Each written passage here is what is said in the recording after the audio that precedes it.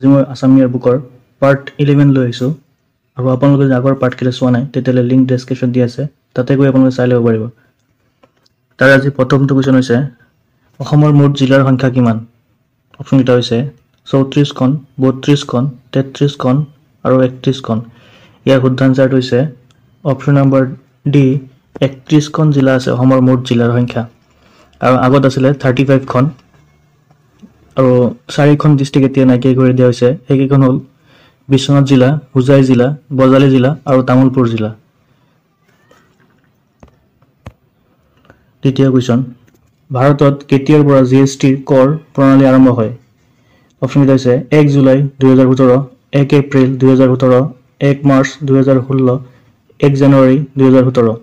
ইয়াৰ শুদ্ধ এনচাৰটো হৈছে অপশ্যন নম্বৰ এ এক জুলাই দুহেজাৰ সোতৰ চনত। ভাৰতত জি এছ টি কৰ আৰম্ভ হৈছিলে। আৰু ইয়াৰ চাৰিটা শ্লেব আছে five percent twelve percent eighteen percent twenty eight percent আৰু যদি সোধে ভাৰতৰ কোনখন ৰাজ্যই প্ৰথমে জি এছ টি প্ৰণালী আৰম্ভ কৰিছিলে তেতিয়াহ'লে ইয়াৰ এনচাৰটো হ'ব অসম। অসমে ভাৰতৰ ভিতৰত প্ৰথমখন ৰাজ্য যিখনে জি এছ টি আৰম্ভ কৰিছিলে? নেক্সট কুৱেশ্যন ভাৰতৰ কোনখন কেন্দ্ৰীয় শাসিত অঞ্চল সম্পূৰ্ণৰূপে সৌৰ শক্তিৰে পৰিচালিত? মানে কৈছে কোনখন কেন্দ্ৰীয় শাসিত অঞ্চল চ'লাৰ এনাৰ্জিৰ দ্বাৰা পৰিচালিত হৈ আছে? অপশ্যনকেইটা হৈছে লাক্ষাদ্বীপ ডিঅ' আন্দামান নিকোবৰ পুডুচেৰী। ইয়াৰ শুদ্ধ এনচাৰটো হৈছে অপশ্যন নম্বৰ বি ডিঅ' হৈছে ভাৰতৰ কেন্দ্ৰীয় শাসিত অঞ্চল যিটো সম্পূৰ্ণৰূপে সৌৰ শক্তিৰে পৰিচালিত হৈ আছে। নেক্সট কুৱেশ্যন সোণাই ৰূপাই অভয়াৰণ্য ক'ত অৱস্থিত? অপশ্যনকেইটা হৈছে নগাঁও জিলা শোণিতপুৰ জিলা শদিয়াত শিৱসাগৰ। ইয়াৰ শুদ্ধ এনচাৰটো হৈছে অপশ্যন নম্বৰ বি শোণিতপুৰ জিলাত সোণাই ৰূপাই অভয়াৰণ্যখন অৱস্থিত হৈ আছে ভাৰতৰ কোনটো মুদ্ৰাই ইয়াৰ এশ বছৰ পূৰ্ণ কৰিছে? অপশ্যনকেইটা হৈছে এক টকীয়া নোট এশ টকীয়া নোট দহ টকীয়া নোট পাঁচ টকীয়া নোট। ইয়াৰ শুদ্ধ এনচাৰটো হৈছে অপশ্যন নম্বৰ এ এক টকীয়া নোটে ভাৰতৰ মুদ্ৰাই এশ বছৰ পূৰ্ণ কৰিছে। আৰু আপোনালোকৰ ভিডিঅ'টো চাই যদি ভাল লাগিছে লাইক শ্বেয়াৰ আৰু ছাবস্ক্ৰাইব কৰিব। নেক্সট কুৱেশ্যন পূবৰ আমাজন বুলি কোনখন ঠাইক জনা যায়?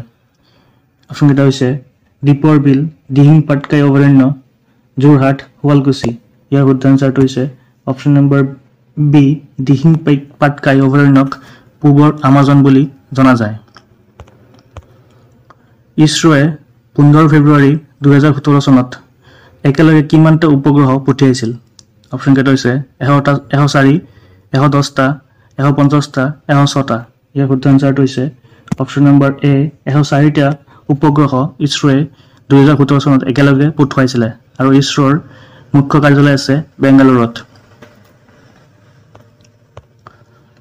ত্ৰিপুৰাৰ নৱনিযুক্ত মুখ্যমন্ত্ৰী কোন? অপশ্যনকেইটা হৈছে বিপ্লৱ কুমাৰ দেৱ মানিক চৰকাৰ কণ্ট্ৰাং চাংমা য়োগী আদিত্যনাথ। ইয়াৰ শুদ্ধ এনচাৰটো হৈছে অপশ্যন নম্বৰ বি মানিক চৰকাৰ হৈছে ত্ৰিপুৰাৰ নৱনিযুক্ত মুখ্যমন্ত্ৰী।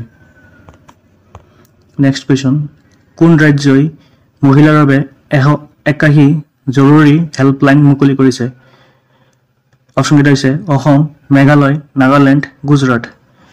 ইয়াৰ শুদ্ধ এনচাৰটো হৈছে অসমে মহিলাৰ বাবে ওৱান এইট ওৱান জৰুৰী হেল্পলাইন মুকলি কৰিছে।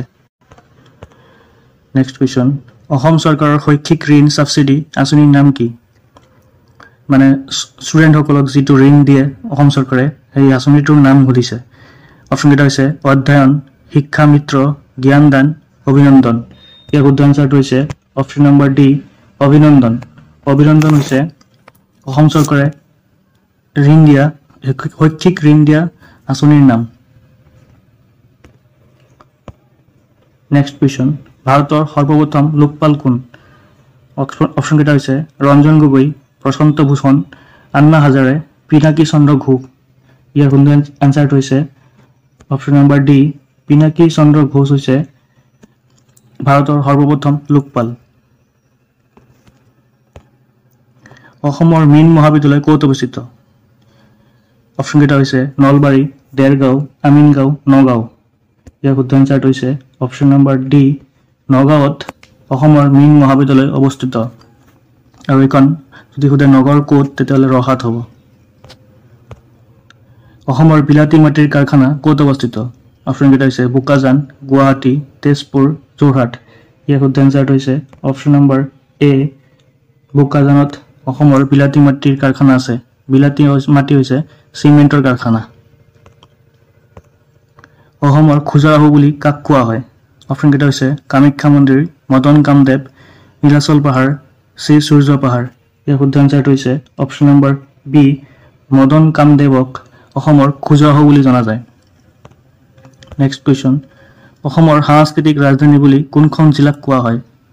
অপশ্যনকেইটা হৈছে তেজপুৰ শিৱসাগৰ যোৰহাট নলবাৰী। ইয়াৰ শুদ্ধ এনচাৰটো হৈছে অপশ্যন নম্বৰ চি যোৰহাটক অসমৰ সাংস্কৃতিক ৰাজধানী বুলি জনা যায়। নেক্সট কুৱেশ্যন সৰ্ববৃহৎ নদীদ্বীপ মাজুলীৰ মাটিকালিৰ পৰিমাণ কিমান? অপশ্যনকেইটা হৈছে আঠানব্বৈ বৰ্গ কিলোমিটাৰ আঠশ বৰ্গ কিলোমিটাৰ আঠশ আশী বৰ্গ কিলোমিটাৰ সাতশ আশী বৰ্গ কিলোমিটাৰ। ইয়াৰ শুদ্ধ এনচাৰটো হৈছে option number C eight hundred eighty বৰ্গ কিলোমিটাৰ হৈছে সৰ্ববৃহৎ নদীদ্বীপ মাজুলীৰ মাটিকালিৰ পৰিমাণ। নেক্সট কুৱেশ্যন দিছপুৰক অসমৰ ৰাজধানীৰ মৰ্যাদা কিমান চনত দিয়া হৈছিল? অপশ্যনকেইটা হৈছে nineteen seventy three nineteen seventy four nineteen seventy five nineteen fifty চনত। ইয়াৰ শুদ্ধ এনচাৰটো হৈছে option number A nineteen seventy three চনত দিছপুৰক অসমৰ ৰাজধানী হিচাপে মৰ্যাদা হৈছিলে। আৰু দিছপুৰক অসমৰ ৰাজধানী হোৱাৰ আগত শ্বিলঙত আছিলে অসমৰ ৰাজধানী। নেক্সট কুৱেশ্যন ৰঙা নদী আৰু নীলা পাহাৰৰ দেশ বুলি কাক জনা যায়? অপশ্যনকেইটা হৈছে অসম ভূটান যোৰহাট আৰু নলবাৰী। ইয়াৰ শুদ্ধ এনচাৰটো হৈছে অপশ্যন নম্বৰ এ অসমক ৰঙা নদী আৰু নীলা পাহাৰৰ দেশ বুলি জনা যায়। নেক্সট কুৱেশ্যন প্ৰথম অসমীয়া হাস্য ব্যংগ ৰসাত্মক ছবিখনৰ নাম কি আছিল?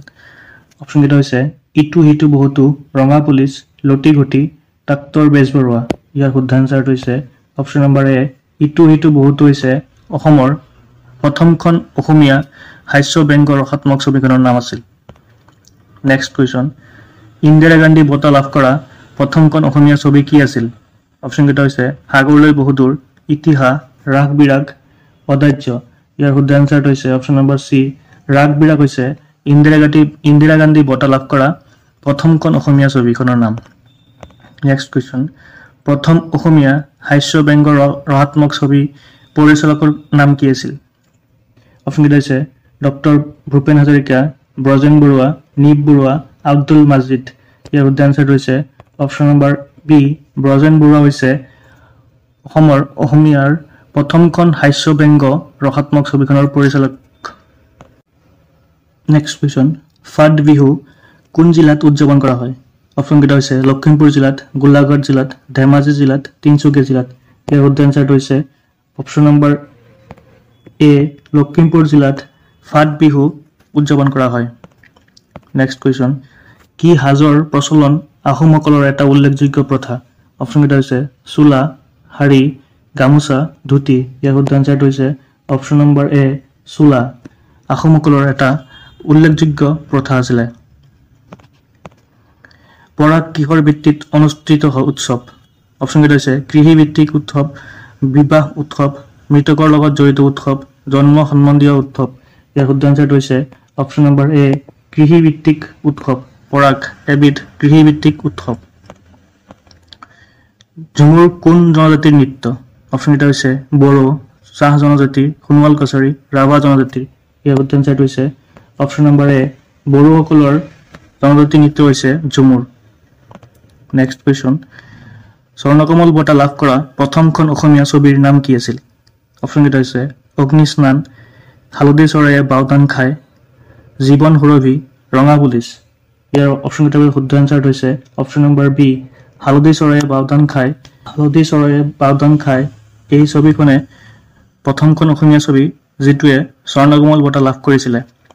আজি এইকেইটা কুৱেশ্যন আছিলে। যদি ভিডিঅ'টো চাই ভাল লাগিছে আপোনালোকে ছাবস্ক্ৰাইব কৰি থ'ব আৰু এনেকুৱা ধৰণৰ বহুতো ভিডিঅ' আহি আছে। থেংক ইউ ফৰ ৱাচিং